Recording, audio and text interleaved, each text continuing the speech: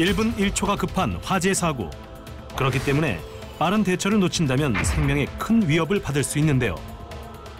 발달 장애인의 경우 재난 상황 시 즉각적 판단이나 대응에 어려움이 있으므로 대피 요령을 숙지해야 합니다. 먼저 어떤 시설을 이용하든 시설물의 주 출입구 부분 등에 비치된 피난 안내도를 통하여 비상구 위치, 피난 동선, 소화기 및 대처 방법 등을 확인합니다.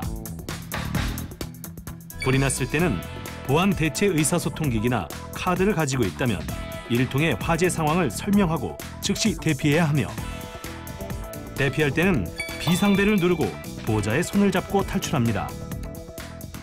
보호자가 없는 경우에는 주변 사람에게 도움을 요청하여 안전한 장소까지 유도 도움을 받아야 하는데요.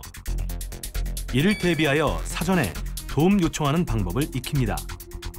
대피 시에 발달 장애인이 불안감을 느껴 큰 소리를 내거나 돌발 행동을 해도 꾸짖지 않고 침착하게 안정시킨 다음 이동해야 하며 이때 좋아하는 물건 등으로 관심을 끄는 것이 좋습니다. 대피 시에는 연기를 마시지 않도록 낮은 자세를 하고 수건에 물을 적셔 입을 막고 이동해야 하는데요. 스스로 할 수 없는 경우엔 보호자가 입을 막고 움직이는 방법을 보여줍니다. 또한 벽에 설치된 손잡이 등은 화상을 입을 수 있으므로 손잡이 대신 벽을 이용하여 통로를 인지하고 아래층으로 대피할 수 없는 경우에는 옥상층으로 대피합니다.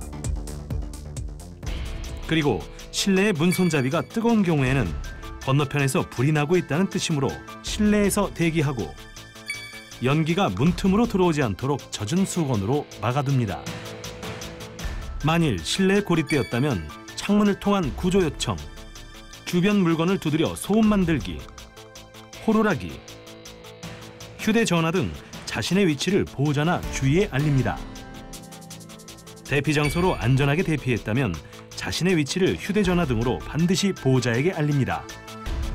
특히 학교, 복지관 등 다수의 발달 장애인이 있었을 경우에는 대피 완료 후 인원 점검을 하여 함께 있던 사람들이 전부 있는지 확인합니다. 상황 파악이 어려워 대피 시간을 놓칠 수 있는 화재 사고. 그러나 화재 대처 요령만 숙지해 둔다면 갑작스러운 화재 상황에서도 신속하게 대처할 수 있습니다.